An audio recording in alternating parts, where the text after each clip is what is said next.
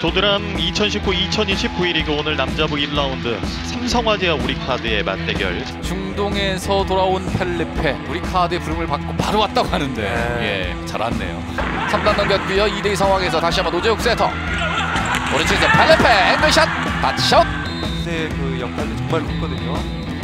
일단은 펠리페가 성공 밀었고 오픈 성공률이 좀 떨어졌어요. 44% 김나온입니다. 까르바키 포인트. 펠리페 완벽하게 차단당합니다. 4대2 6대3 펠리페 서브 강한 서브였습니다. 아, 서브 득점! 네. 제가 얘기 듣기로는 후반대에 어떤 그런 컨디션을 갖고 있다고 저 얘기를 들었거든요. 다시 한번 서브 득점! 연속 서브 득점! 우유형의 센 고준영의 서브였고 신동광이 투입됐습니다. 팔레페가 오른쪽에서 코트를 때립니다. 박철의 후위 공격! 나이스 수비 팔레페. 그리고 팔레페 스파이크! 브로 수비하고 원스텝으로 야 좋네요. 에서 나오는 범위 상당히 많았었죠. 많았었죠. 예. 높게 뛰어넘습니다. 오픈 공격 타치아웃 팔레페 세트 포인트 성공이 없어요. 그렇습니다. 너무나 성공률이 떨어집니다. 예. 사이드아웃이 쉽게 돌아가지 않아요. 루시문 됐어요. 팔레페입니다. 시간차를 통해서 팔레페의 득점. 하지만 바운드. 자 이상훈 리베로 팔레페를 합니다. 이야 이단영이 기가 막히네요.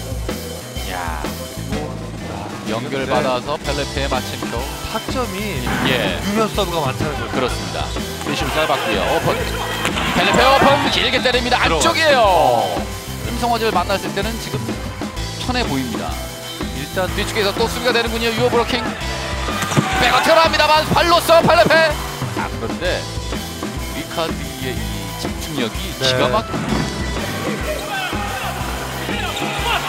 펠리페입니다. 코트를 때립니다. 매치 포인트. 지난해는 삼성화재에게 첫 경기를 내줬습니다만 오늘은 우리카드가 3대 0으로 첫 승을 거두고 시작합니다. Ah, it's really nice to be back and play again in this league and see many friends. And in this season, especially, that I have many targets to, to take it. So I'm really happy to be to be back in Korea. 핑크색 유니폼이 참 잘 어울리는데 마음에 듭니까? Yeah, yeah, I like it. I like it. Why not? It's really nice. 네, 우리 카드의 펠리페 선수 과연 또 올 시즌 어떤 활약을 보여줄지 기대해 보도록 하겠습니다. 승리 다시 한번 축하드립니다. Thank you, thank you, thank you so much. 네, 우리 카드의 펠리페 선수였습니다. 감사합니다.